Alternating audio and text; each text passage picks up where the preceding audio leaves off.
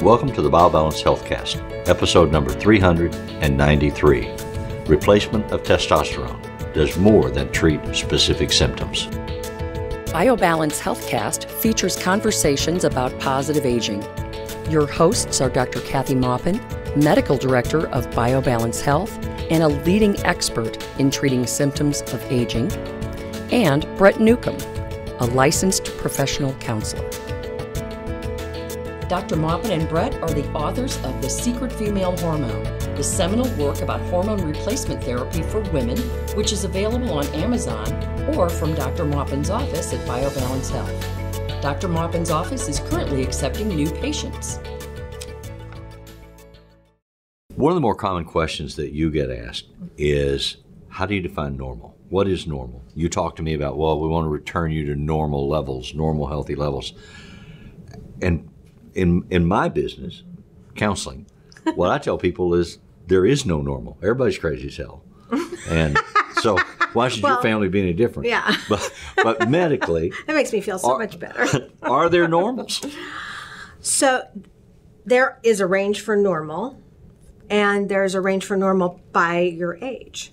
So, So so an age cohort. There's an age- the- age all fifty year olds, all sixty year olds. or all over 50, kind Okay. of. Okay, you can define anyway. So, so in the hormones that decrease as we age, the lab printout will show you generally associated with your own age group. Okay, so for for estrogen for women, for testosterone for women and men, for growth hormone, they tell you if you are the same as all the people or a range of people in your age group, meaning old. So that doesn't mean you're healthy. But it's what, just but like what saying, advantage is it? You know, if I'm 75 years old And you're I'm like, average? uh, and I'm average, does that mean I can climb a flight of stairs? right? I- it doesn't you mean you, know- can climb climb a mountain. Right. It means that you have the average for an American, Right. basically, of a certain amount of hormone that goes down as we get old and makes us get old as it goes down. So when I'm looking at hormones, I don't compare men to unhealthy older men. Good. It's like comparing everybody, you know, saying because America just got fat and we now are all fatter than we should be, then it's okay to be fat. I mean that that's the same reasoning. So I compare you. You're not fat, you're average. That's right. I mean, America's gotten fat. So so now the average is higher than Right. It should be. So now for for hormones, I go back just like all the other anti-aging doctors are trained, we go back to young healthy levels. That means 20 to 40 year olds. So we that's a range. It is not a a, a done Defined deal number, right. that you need that, but if you have symptoms of low testosterone and you are lower than the, the young healthy range, then that's your diagnosis. That's how we make the diagnosis. So then I have some symptoms and I talk to you about it and I say, all right, I want to try this treatment. Mm-hmm. The treatment will alleviate the symptoms Yes. and, and that's the only good that it does. I mean, No, it, the le- it it also gives you a general better good health. I mean, good overall good health. It makes you your body younger. Yeah. You get more muscle. You lose fat. Your skin gets tighter. You have your brain works better. You you are able to But some of those are repair all your tissues. hard better. to measure precisely. They are hard to measure. You know, so, I mean, uh, you tell me, uh, is hard to measure. Yeah, you're going to be happier. Okay, how did I know know that as a Well, result of what you're doing? Not happier, but healthier because ha- I don't control happy at all. no, Some people are the all intersection well. of healthy and happy. There's yeah. some people, sadly, that are still, uh, when, even when we've alleviated all their symptoms and their levels are good, they're like, oh, Okay. I'm not sure what they want. So, so you treat both men and women, Yes. and I'm a lot more comfortable talking about my wife's treatment than my own. I know. So, But however, we're, she she comes to you, Mm-hmm. and when she came to you, she had some specific symptoms. Those have gotten better. Mm-hmm. Yep. I mean, by her own and by yours. And by mine. But what I like to talk about is she goes to her regular gynecologist Mm-hmm. for checkups, And he's never embraced hormone replacement. He, he doesn't criticize it because he knows that we're all connected, but he doesn't embrace it. And so he'll look at her lab results and he's like, uh, "What are you doing? This is better." This is so much better. and and it's better than normal. It's better than most people. But she went from being You're talking about bone density. I am. Well, that's where I was going to go. Osteoporosis. She she went from being osteoporotic Mm-hmm. to normal, better than normal. In a five-year period Mm-hmm. Right. on on testosterone and that replacement, happens. and he you looks at the data and he's like, "What are you doing?" And she said, "Are you taking this drug or that drug or these side effects?" And she's like, "No, the only thing I'm doing is testosterone replacement." And every time she goes, every year, he looks better. at it and he says, "These numbers are better. I have to reconsider this." But he doesn't ever So- reconsider. No, he's, he's, what he's doing is retiring. Right. Yeah. I'm going to reconsider this by just quitting. You know, but it's it's amazing. But it's not a thing. I mean, she doesn't know their bones are stronger by by any kind of evidence that she has. They're not they're not Mm-hmm. Right. brittle. They're not She breaking. She it. she doesn't fall. She hasn't gotten Mm-hmm. to that place. But the data that you can generate with the tests that you do Mm-hmm. show her that her bones are stronger. Right. And that means they're going to be stronger for a long period of time. We've backed her up in age Yeah. to a young, healthy level of bone mass. and that matters at least in my thinking it matters because we've had a couple of elder relatives who have died. And within a year before dying they fell and broke a hip or a leg or what have you. And the nurses were very careful to say this is not a, a prognostication. This is not a definite but but generally when they do this they're dying within the next year. Right. and so you worry. You get old like me, you worry about okay, if I fall, if I break something, does that mean the window's closing? Mm-hmm. And we haven't done a bone density on you no. Well, because, in general, you call men. me boneheaded. Well, that too. Um, we, we men men generally have good bones because they have thicker bones when they're young Right. than we do, and a lot more testosterone than we do. So men start out with thicker bones, and unless they take steroids or something else, their bones stay fairly thick as long as they've got testosterone. Then they start as they get older, which is 10 years past when women start losing their testosterone, then they start thinning down, but they started from a much thicker But it, it, place. I'm glad you're saying that because as, I, as you say it, what I'm thinking is none of the people I was talking about, the relatives that have died, Mm-hmm. were men. right. So It's not a common thing in men unless you, you've been on corticosteroids for asthma or for autoimmune diseases or something like that that made your bones thinner than a typical man. But if it were common, I'd be following your bone density as well as Phyllis's. Right. But I don't have to because I can just assume from your past history that you started out with normal bones. We've given you testosterone for what, seven years? Eight? uh, Nine. seven, I think. no, no, not.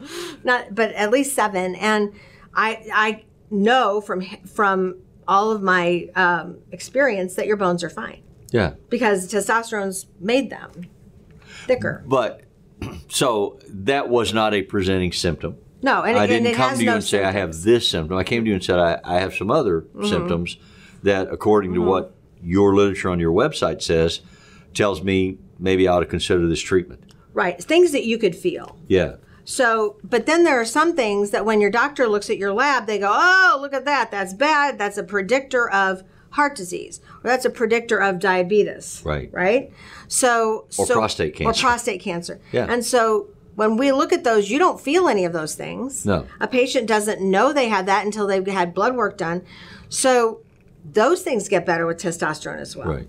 so when we look at cholesterol, LDL cholesterol is the bad one. When we give men, I let me rephrase this. 90% of men's LDL cholesterol gets better. There's a 10% genetic high cholesterol that doesn't get better with testosterone. And it and I don't know why it doesn't get better, but I'm 90% of the men, when I look at their tests before and after with low testosterone and high cholesterol, their, when their testosterone's normal, their cholesterol comes down to normal.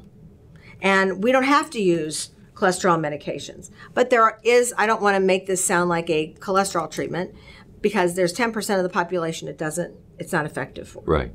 But it makes you healthier and decreases your risk of heart disease. Well, symptomatically, what I'm comfortable saying that that there was a point where I was talking to you about saying mood swings are happening to me that are not typical for me. I, Right. I get teary or I get angry mm-hmm. with no warning for no reason, and I don't know how to understand it.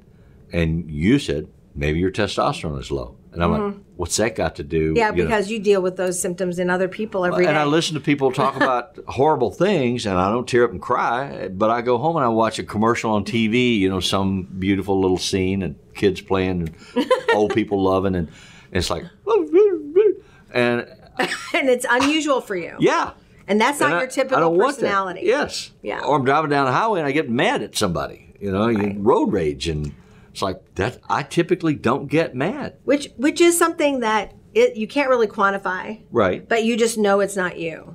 I mean, I remember and that was having my concern. no testosterone and being angry at everybody. It, well, it was, it was my concern and my wife's concern. Mm-hmm. She, you need to figure out what's going on here. This is happening. And so- no, no, no, it's not happening. That person cut me off. But it went away when you got your It did. It absolutely did. And so we can measure that symptomatic and, relief. and that's the of that. opposite of what everyone tells you. Yeah. They tell you that testosterone treatment makes you angry. Well, lifters use corticosteroids from the adrenal gland. That's a whole different thing. That can make you angry, but not testosterone. It makes men And my happy. voice wasn't high pitched. Ah, yeah, you're right. So, that's a whole different thing. So this makes you calm and happy and assertive. If you were assertive before, you'll be assertive again. That doesn't mean aggressive. Right. Not aggressive. Not aggressive, and, but and not flashing, flooding emotionally with anger. It, it was surprising to me to learn that that was a hormonal condition rather than an emotional condition. Right. I Mm-hmm. Mean, it was an emotional artifact, Right. but it was you felt a the hormonal- emotion. Yeah. You felt the emotions, and that is a symptom. right. But you didn't really put it together with with testosterone. No. And some people feel depressed when they ha- when they don't have testosterone. And so they come in and I once again I can't say that everyone who's depressed gets better on testosterone, but if they've started feeling depressed, if you've started feeling depressed after the age of 40, but you didn't do that before, had that before, it easily could be testosterone loss. Eh, So And the thing with depression is it always can be chemical or uh, hormonal, and it can be situational. Mm-hmm. Right. I mean, you can have both at the same time. I mean, your dog can die, and you can be really sad and depressed, but you also can be out of balance chemically. One exacerbates the other. Mm-hmm. right. But we can't fix the life, but we can fix how you perceive it. What I hear a lot from my patients who come in and they their life's out of control. right, They don't give me that as a symptom, but as I talk to them, I understand that their life has become out of control. They're yelling at their kids and their husband's upset all the time and they're upset all the time and things aren't working out and their people are losing jobs and things like that. Oh, yeah. So they tell me this history while we're talking because we have a whole hour, so I get to have some of their social history involved in this. And when they come back, they go, Man, all the things around me got worse in the last four months, but I handled it and it's not bothering me. right. Now that's what testosterone does. Testosterone, My life still sucks, but I'm happier. no, but I mean, it was almost like the last person that told me that she had somebody die in her family. Right. And then she had a dog that was sick and died. And, and she was A lot of loss. terrible loss and terrible emotions for her. And, and only if you love dogs would you understand this. And I understand. it. I almost cried with her. So I mean, this all these things happened to her, but she said, "But I held up. I could stand it." I, not because all of her symptoms were gone, but that helped, but because her testosterone made her brain able to tolerate all of the slings and arrows of Outrageous life. fortune. Yes. So so that that was a benefit, but not one that I can like write down.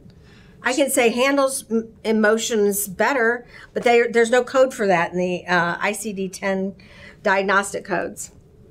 That's that's quality of life. I laughing because in my business, when people have insurance, which I, I didn't take, but I would give them paperwork to turn mm-hmm. in.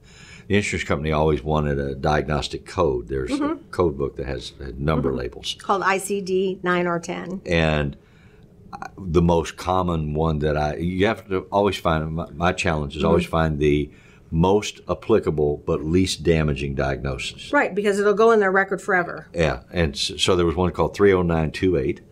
That was the ICD nine. That's an old code. literally translates crap's happening stuff's going on Does it really? yeah, Bad stuff in your life. yeah, Yeah. yeah. So And trying that- to handle it. right.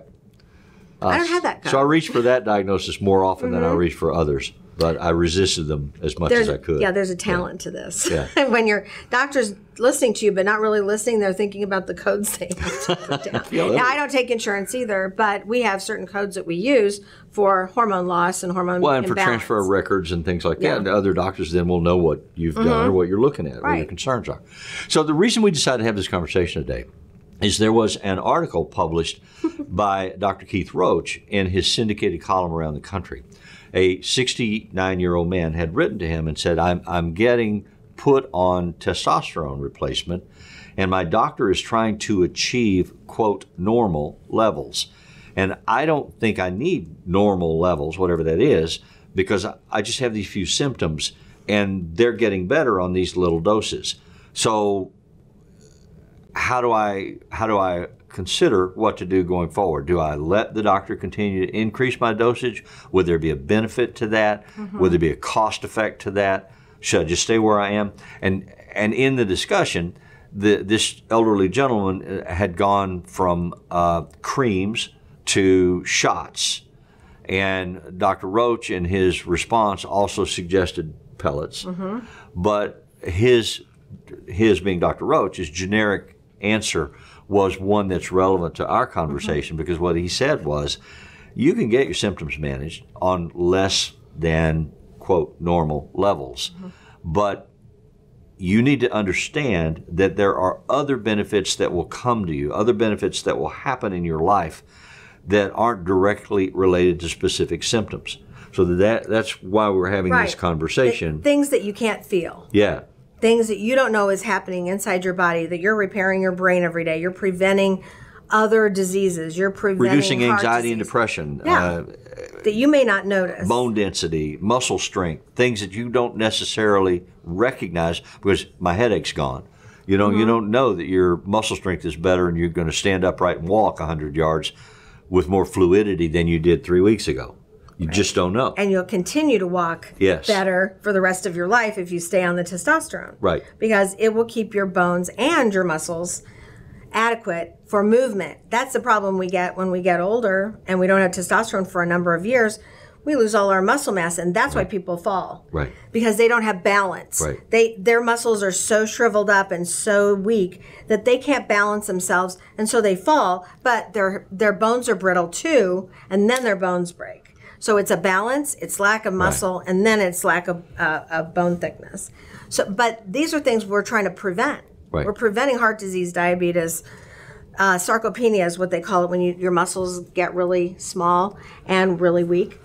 well, And, it- that's what he's saying. in And- the 16 years that you've been focusing on this as Mm-hmm. a specialty, you've evolved in, in your response through all the different methods of providing testosterone to the point where you just now do pellets. Right. Mm-hmm. You don't do the creams or, or you don't do the injections, you don't do the uh, sublinguals, you, you just do the pellets. I did the creams and the gels 32 years ago. Yeah. And I did that until 16 years. And then for 16 years, I've only done pellets because I had all this experience with with other forms and they didn't work as well. Right. So Tell Granted. Tell us why. In, in part because patients are chronically inconsistent when they're involved in the administration process. yeah, You know, I forget to take my, my pill tonight. I forget to put a cream on, or I put too much cream on, or, or I left get it such at a kick out of when the I cream, I on do it three times today. Yeah, or I cover my body with it. One person did Yeah. that. She got hair all over her body. I mean, I was just felt good so everywhere. it was so good. I wanted more, you know, right away. It's so true. it's true. And Yeah. and she was she was hairy all over. She put it everywhere. Anyway, there's the patient factor, but there's also the factor that pellets actually go under your skin and dissolve and you use it just like it's coming out of the testicle or the ovary. And so it is much more physiologically normal than a cream. A cream goes through your skin and it changes and it makes a lot of estrogen. Sometimes 80 to 90% of the testosterone you put on your skin becomes estrogen. Now it didn't in my patient or she wouldn't have gotten the hair but it does in in, mo- in men a Right. lot so the gels aren't as good. So i mean they just aren't as good for most men. Right. they and a little bit of testosterone is not how you do it because a little bit stops all of your own production. So you can't use a little bit in men because it shuts down your own production. So we have to use a full dose. So if you just use a little bit, you could have a net loss. Right. You could have a lower testosterone Right. when we're done than when we started. Right.